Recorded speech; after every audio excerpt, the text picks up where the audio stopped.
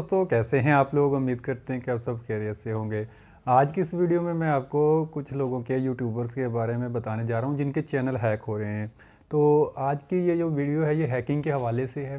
तो ये भी हो सकता है कि कल को आपका कोई चैनल हैक कर ले, या को आपको ऐसी धमकी मिले, आपको कोई मैसेज आए कि आपका चैनल हैक हो रहा है। असल में ये चक्कर कहाँ से शुरू हुआ? ये ऐसे शुरू हुआ कि एक यूट्यूबर हैं सरार अहमद साहब, यूट्यूब का काम लोगों को सिखाते हैं। मैंने पहले भी एक दो वीडियो उसके बारे में बनाई हैं, आप लोगों को उसके बारे में आगाह किया है, बताया है।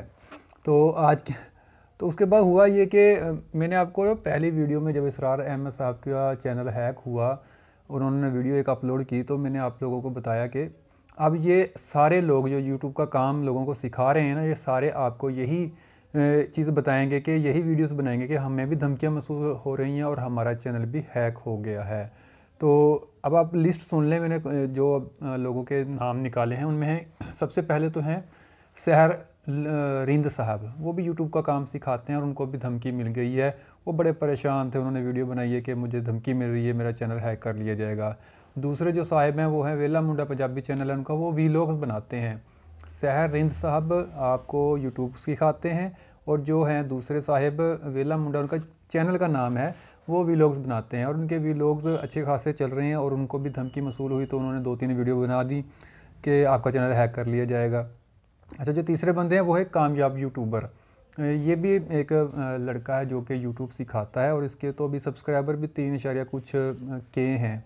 मतलब कि बहुत थोड़े सब्सक्राइबर हैं। इस, इनको भी धमकी मिली है कि यूट्यूब का जो चैनल सिखा रहे हैं वो आपका हैक कर लिया जाएगा। और इसरार अहमद के बारे में मैंने आपको पहले बता दिया है। ये वो लोग हैं जो कि मेरे सामने इनकी वीडियोस गुजरी हैं तो मैंने कहा आपके साथ शेयर कर लें कि यूट्यूबर्स को आजकल बड़ा ख़तरा है हैकिंग का। तो आप लोग बच के रहना इससे। तो इसलिए मैंने ये वीडियो बनाई। तो हजूर, बात पता क्या है? इन चारों बंदों के चैनल्स पे ना कोई ऐसा मटेरियल नहीं है जिसकी वजह से कोई दूसरा बंदा डिस्टर्ब हो। अब हैकिंग करता कौन है?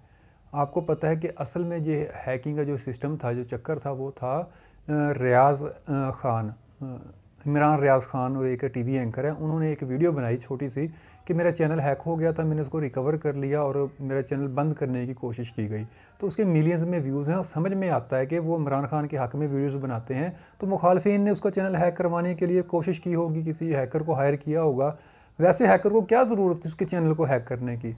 हैकिंग वो चीज़ होती है हमेशा जिसके बारे में आपको इलम ना हो कि इसमें, लोगों को इलम ना हो कि ये बड़ी काबिल कदर मालूम हैं या बड़ी सीक्रेट किस्म की कोई डॉक्यूमेंट्स हैं। अब YouTube के चैनल पे तो हर चीज़ वीडियोस ही होती हैं। वीडियोस आपके, आप लोग, लोगों के साथ शेयर करते हैं। तो आम हैकर को ज़रूरत नहीं है यूट्यूब का चैनल हैक करने की।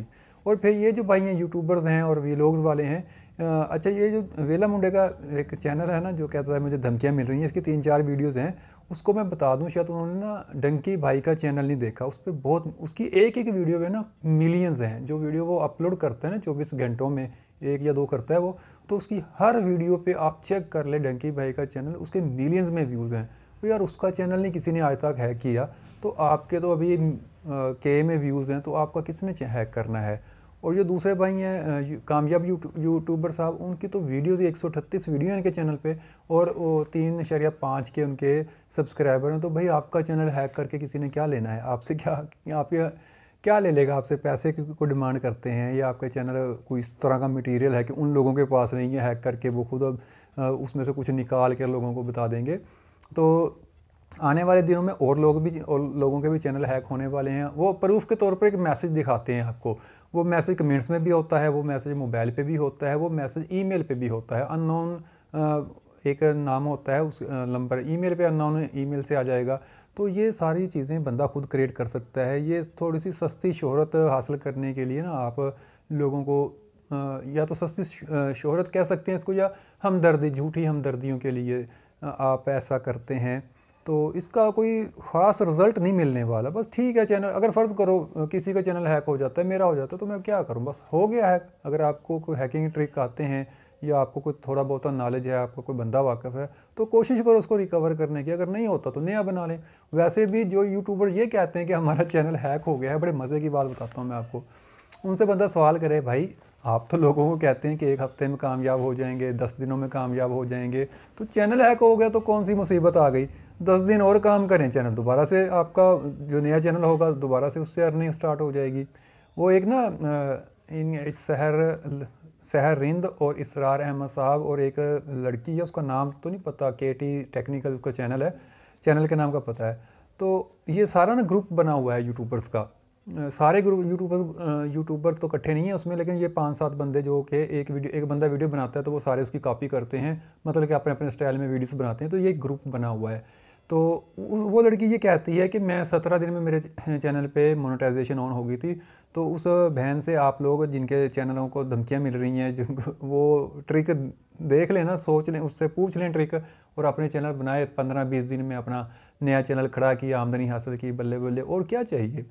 तो ये ज़रूरत नहीं है ऐसी फेक किस्म की वीडियोस बनाने की या इस तरह की झूठी हमदर्दियों की। आप काम करते जाएँ अगर आपके चैनल माशाल्लाह से वैसे भी इन, जिनके, जिनको धमकियाँ मिल रही हैं, उनके चैनल मोनेटाइजेशन हो ऑन है तो उनकी आमदनी मिलती होगी। आप सुकून से अपना कम, काम करें और पैसे कमाएँ, क्या ज़रूरत है ऐसी? तो हम उम्मीद करते हैं कि आपको हमारी वीडियो पसंद आई क्योंकि ये एक मज़ाया सी वीडियो थी, मेरा दिल कर रहा था मैं आपके साथ ये सारी बातें शेयर करूँ। मुझे उम्मीद है कि आपको हमारी वीडियो पसंद आई होगी। Thanks for watching